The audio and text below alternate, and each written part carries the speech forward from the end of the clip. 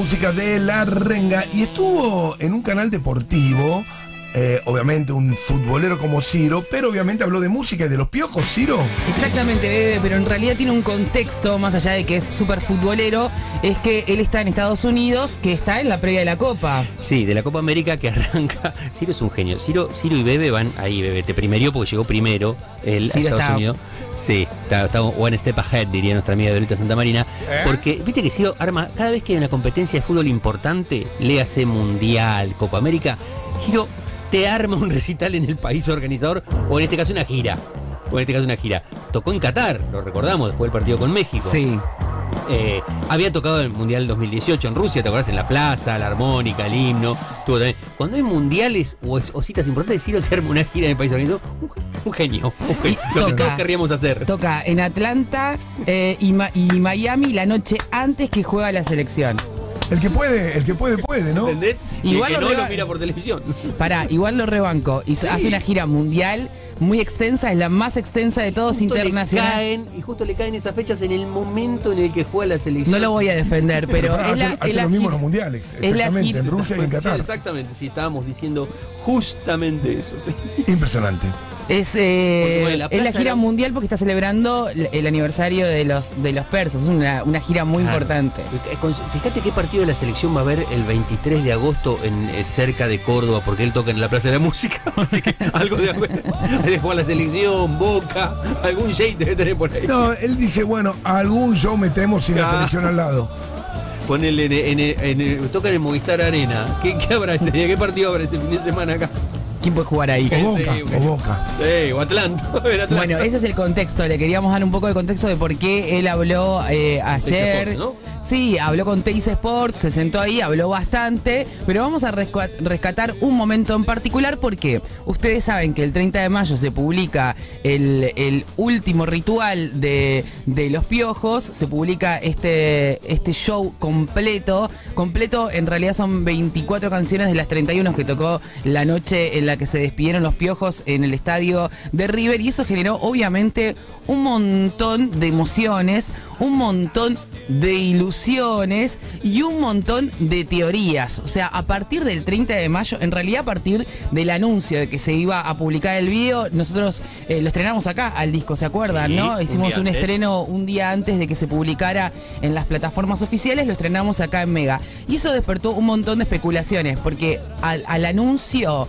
de, de la salida del disco se le suma que aparecieron carteles justo un día antes de, de la- del estreno del disco. Y esos, eh, esos carteles nosotros los contamos, son pasacalles que aparecieron en Villa Jardín, eh, en Ciudad Jardín, perdón, y esos pasacalles los pusieron unos fanáticos. Pero en realidad, cuando aparece, no te sorprenda volverme a ver, y está el los piojos, vos, algunos pensaron que era algo más oficial. Y a partir de todo eso se generó la idea de que ya había algo confirmado. Se filtró una fecha que eh, apareció en las redes porque sí, porque alguien se filtraron audios que no habían, no eran oficiales de nada, pero todos empezaron a especular con que si este dijo este, si este publicó una foto, si este puso una frase, si este le dio like a tal cosa y no sé qué, había algo un poco más confirmado. Y en realidad lo que había hasta ese momento era la salida del disco con el último show porque se estaban cumpliendo ni más ni menos que 15 años de la despedida de los piojos. Y en el medio además aparece un Instagram oficial.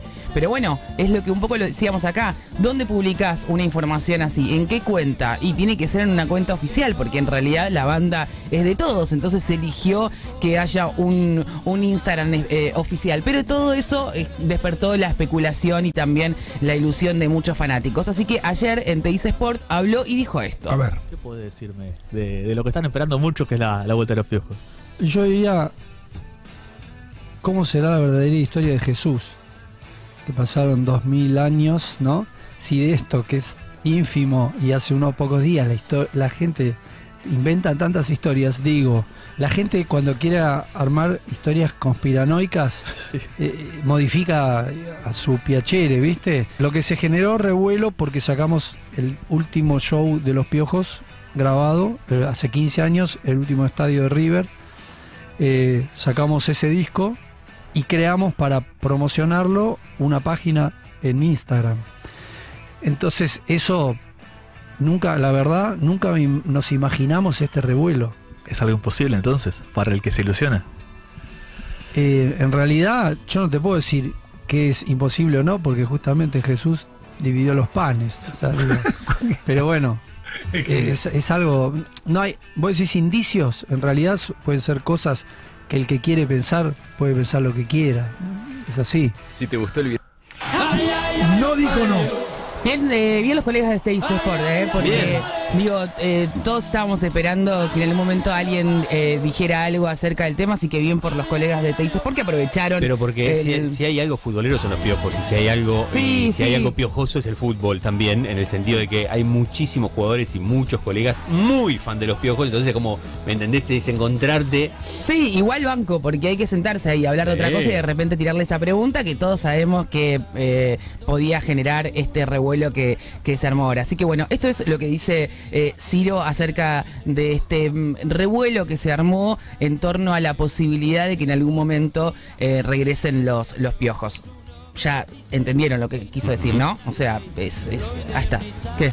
No, que no dijo que no. Eh, si, si no, eh, si vos querés decir que no, es no. Y no, decís, no no, ponés- imposible no ponés metáfora. cada quien tiene su proyecto necesita otra cosa Elijo, elijo creer era en el 2022, ¿no? Elijo creer en el Elijo 2022. creer, elijo creer. Como, ¿Eh? habló- que somos como esas personas, o los fans de los somos esas personas que vos le decís, no, porque no sé, es verde. Viste, dijo rojo. Dijo rojo. estoy Igual Ciro que le segura. Estoy encanta con vos. Es como. 100%. No dijo nada, chicos. que le, que le o sea. encanta la historia, eh, ¿no? Se fue a. Bueno, tiene una banda que se llama Ciro y los persas, chicos. O sea, a se llama 300. Ha- ha- Hablando de, de persas y de todas esas cosas, Ciro repasó en esa nota, ayer rescató la parte que hablaba de los piojos, habló de lo que fue tocar en Qatar también. Y dijo que ha sido Claro. súper difícil. Recordemos que Mega llegó un oyente a ese recital de Ciro y los persas a Qatar durante el Mundial, que fue justo después del partido de México, que Argentina había perdido el primer partido con Arabia Saudita, y dijo, si Argentina hubiera perdido con México, teníamos que tocar la marcha fúnebre, dijo, porque y, y que fue muy difícil de gestionar, viene a contar Ciro ahora, porque los cataríes no firmaban nada, no le firmaban los permisos, firmaban nada,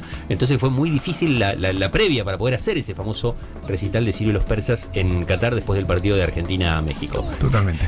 Re- estaba repasando las fechas ayer que tiraste.